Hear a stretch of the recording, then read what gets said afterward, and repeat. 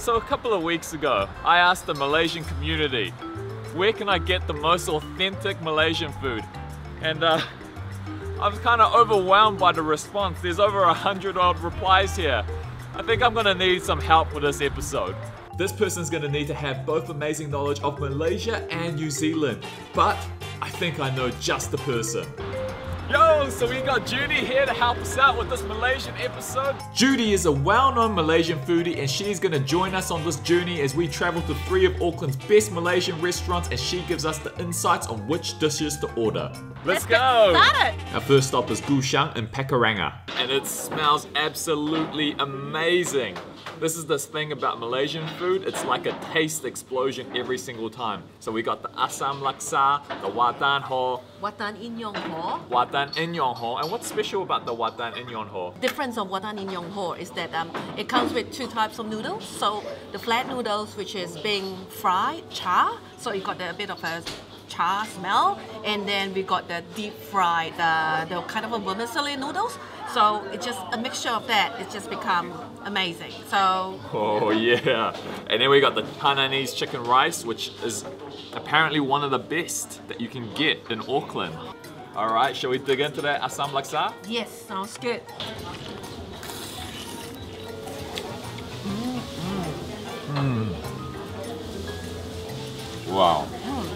First thing you taste is the sourness from the ax- asam laksa itself.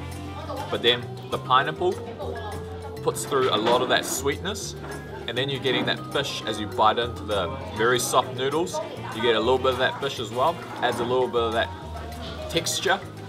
Oh, that's just so good. So good, eh? Love it? Love it. So for me, I always like it with my prawn paste. Mm. It kind of um, changed the taste a fair bit. It's not as sour as you would say.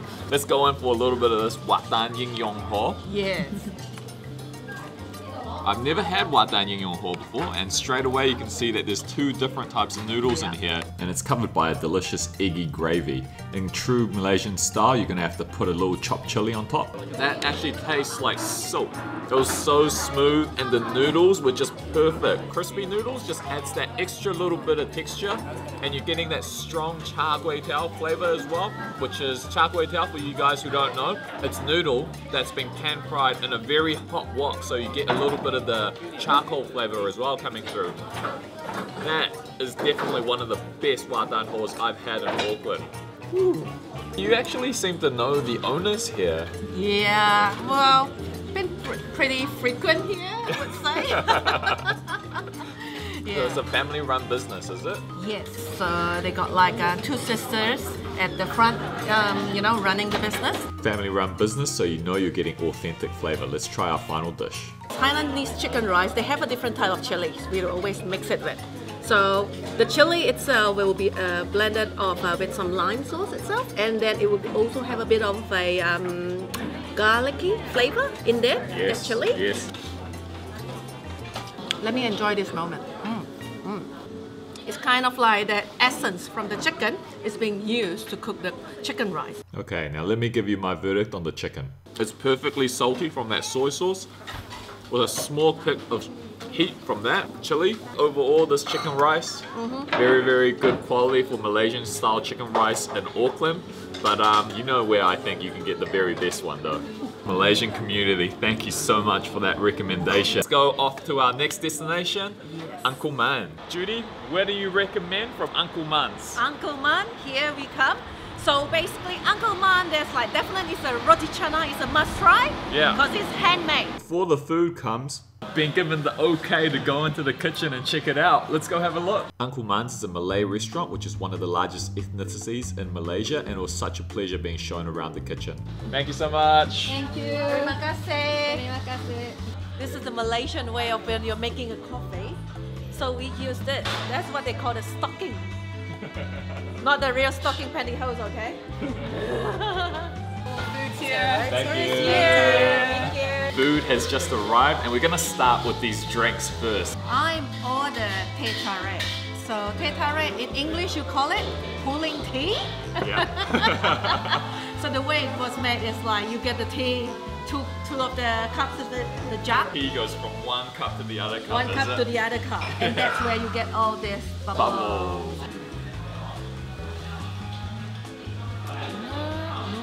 Oh, that looks good. Like at home.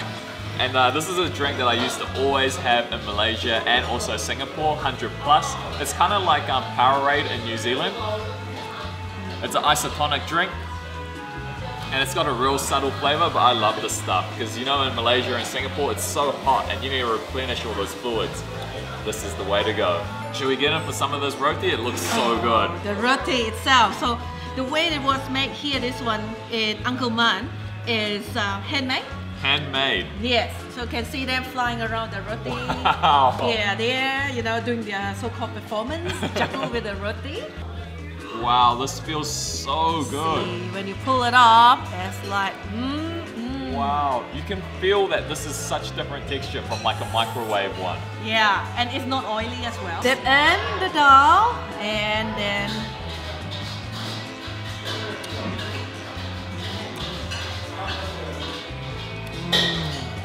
It's so spongy and the texture is so good on that roti. It's crazy. yeah, it's soft and it's fluffy. You can, and then you have a bit of the flake of it as well. You know Yeah. the flakiness of it. Mm. You know what feeling this gives me right now? Like like you're getting a hug. That's what it feels like. Because it's so warm and comforting, this food. Yes. The satays are here now as well. The way Malaysian satays are served, it's always in this very traditional style. You got some bricks of rice. That's what it is. That's what we call ketupat. Okay, that's like uh, sticky rice. Yeah. Yeah. Mm hmm Yeah, you see that? That's all the peanuts. Yep, and there's a bit of a kick of a spice. Um, Pete, alright. Satay cheers. Satay cheers. Cheers.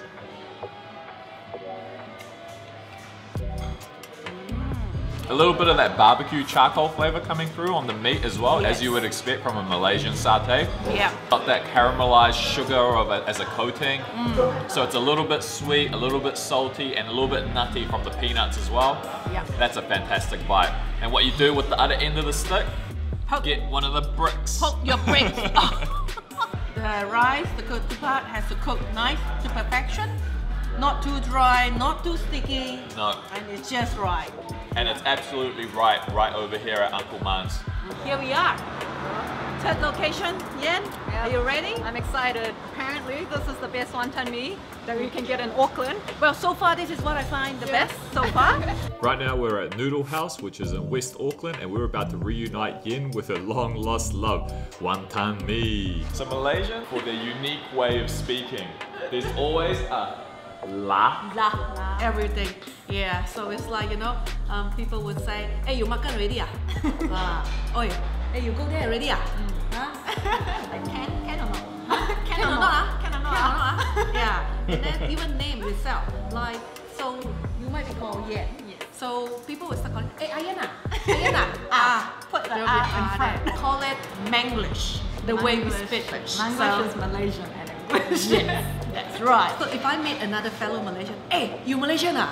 And then you're like, ah, eh, you know the ah, eh, and but if I speak with a Kiwi, hey, uh, I'm a Malaysian. Yeah, you know, like, this is a proper way.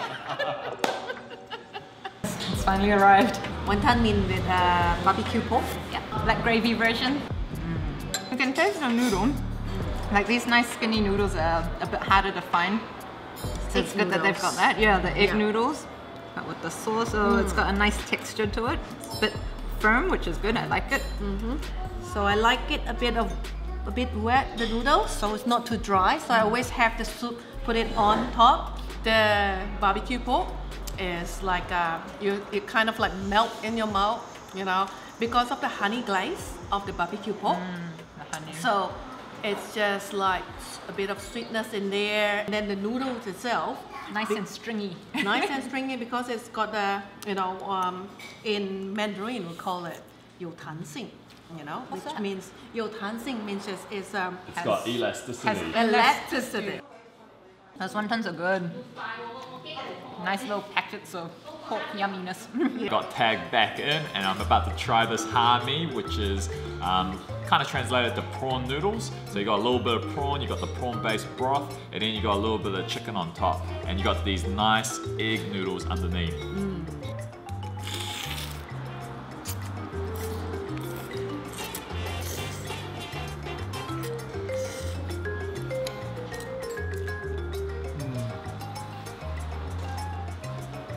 that's like so much flavor. Nice brothy, seafoody stock in there that just comes straight out as soon as you take your first bite of those egg noodles. Right. That is some good ha mi. Now I'm gonna go in and try one of these prawns. That's one big, fat, juicy prawn. One more thing you have to remember. You have to smile and laugh. Because ha in Chinese is like ha ha xiao. Okay. ah. Extremely meaty, just a hint of sweetness, and then that broth once again just wraps that prawn up in an extra layer of juicy seafoodness. So good. I'm so full right now. It really feels like we've run a food marathon. It was absolutely delicious. We went to three places. First one that was Gu Xiang Malaysian restaurant in Pakuranga.